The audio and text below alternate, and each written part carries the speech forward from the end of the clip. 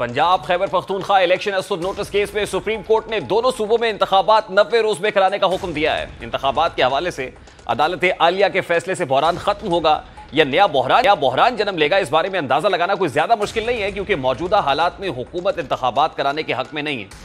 यह बहस अलग है कि हुकूमत ऐसा क्यों नहीं चाहती, लेकिन मुल्क के माशी हालात, सैलाब से होने वाली तबाही और अमनो अमान के हवाले से बदलती हुई सूरत हाल इजाज़त नहीं देती कि इतनी बड़ी एक्सरसाइज की जाए। यहाँ बजट में कमी की जा रही है, मरात कम हो रही हैं।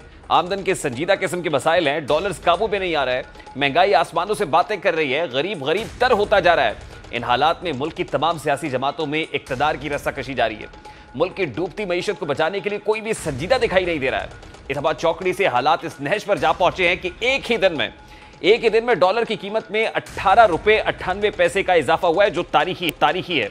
डॉलर दो रुपए ग्यारह पैसे से बढ़कर दो सौ पचासी रुपए नब्बे पैसे पर पहुँच गया और ओपन मार्केट में इसकी वैल्यू दो सौ नब्बे से जायद है। जबकि डॉलर की जिस ग्रे मार्केट को खत्म करने के दावे किए जा रहे थे, वो खत्म होने की बजाय मजीद बढ़ती दिखाई दे रही है और डॉलर ब्लैक में तीन रुपए से जायद पे फरोख्त हो रहा है। डॉलर की हालिया कीमत में इजाफे से अंदाज़ा लगाया जा रहा है कि मुल्की मीशत पर कर्जों के बोझ में 1800 अरब से जायद का इजाफा हो गया है। सबसे सियासी रसाकशी शुरू हुई है। इन दिनों से लेकर अब तक तकरीबन डॉलर एक सौ दो रुपए पाँच पैसे महँगा हुआ है, जिसने मुल्की मीशत की को तहोबाला करके रख दिया है। डॉलर की बढ़ती की मांग के साथ अब वो सियासी जमातें भी हुकूमत पर तनकीद कर रही हैं, जिनकी वजह से इब्तदाई तौर पर माशी बिगाड़ शुरू हुआ हुआ, जो संभलने का नाम नहीं ले रहा है।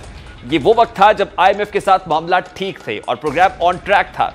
लेकिन उस वक्त की हुकूमत ने सख्त शराय पर आईएमएफ से माहिदा तोड़ डाला। लेकिन इसे मुकम्मल करने की बजाय माहिदा हुआ, उसे राह फरार इख्तियार की गई। शराय के मुताबिक मुश्किल फैसले करने की बजाय सियासी फैसले किए गए, जिससे आई एम एफ़ ऐसा उठा कि लाख जतन के बावजूद भी मानने को तैयार नहीं है।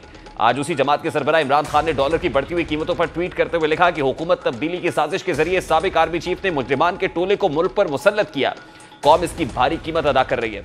इमरान खान का मजीद कहना था कि पी पीडीएम की ग्यारह माह की हुकूमत के दौरान रुपए की कदर में इंतहाई गिरावट आई है और रुपए की कदर बासठ फ़ीसद कम हुई है, जिसके नतीजे में अवाबी कर्जों में चौदह आशारिया तीन ट्रिलियन रुपए का इजाफा हुआ है।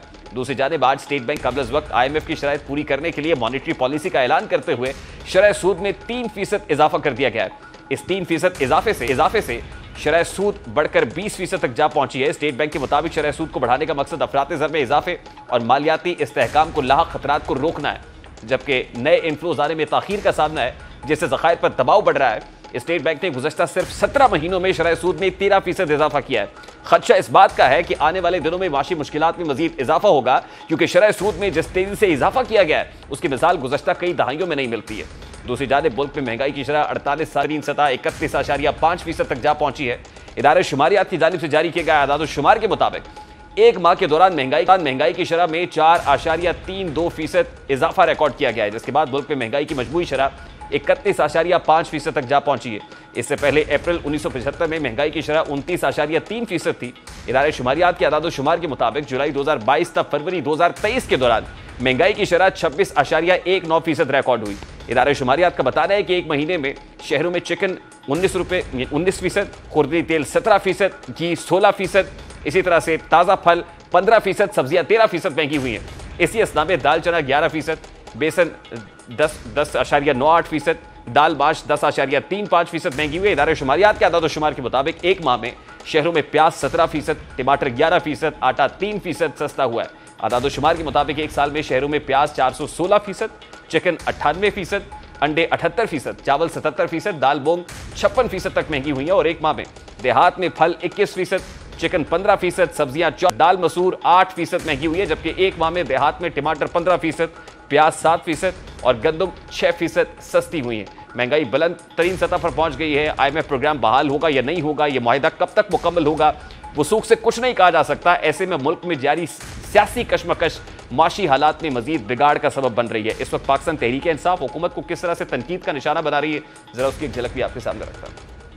तो शुमार के साथ ये साबित किया जा सकता है कि पाकिस्तान का सबसे बड़ा सानिया, जो पिछले पचहत्तर साल में हमारी तारीख के पेश आया है, वो ये पीडीएम हुकूमत के ग्यारह माह थे। शुमार हमारे मुल्क पे इकोनॉमिक सैंक्शंस भी लगाई गई, लेकिन जो पिछले 11 माह के अंदर माशी तबाही आई है, और आम आदमी की ज़िंदगी के अंदर जो परेशानी और मुश्किल आई हैं, और जिस तरह पाकिस्तान के पोटेंशियल को और पाकिस्तान की सोसाइटी को तबाह किया गया है, इससे पहले कभी नहीं हुआ। आज जिस वक्त हमाद अजहर इस हुकूमत को तनकीद का निशाना बना रहे इकनॉमिक स्ट्रेटजीज के ऊपर तो मैं एक और शॉट आपको सुनवाना चाहता हूँ। वो शॉट है सबक वज़ीर ख़जाना शौकत तरीन साहब का, और वो एक ऑडियो सामने आई थी जिसमें वो दोनों सूबाई वजरा ख़जाना के साथ बात कर रहे थे और ये कह रहे थे कि आई एम एफ़ को जो कमिटमेंट दिए आपने ये तय करना है कि इस कमिटमेंट को पूरा नहीं करना है, ताकि ये जो हुकूमत हमें पॉलिटिकल विक्टिमाइजेशन का निशाना बना रही है, इस पर प्रेशर आए और इसकी आईएमएफ के साथ डील ना हो सके। उस वक्त उन्होंने क्या कहा था? जरा वो भी आपको दिखाता हैं। कह देना है कि जनाब वाला जो हमने कमिटमेंट दी थी वो फ्लड से पहले थी।